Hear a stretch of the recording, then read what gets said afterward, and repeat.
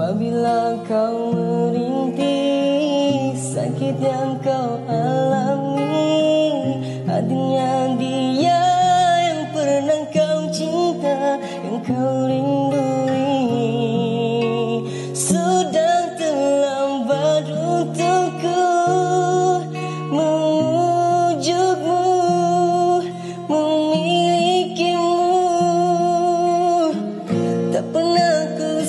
kau begini.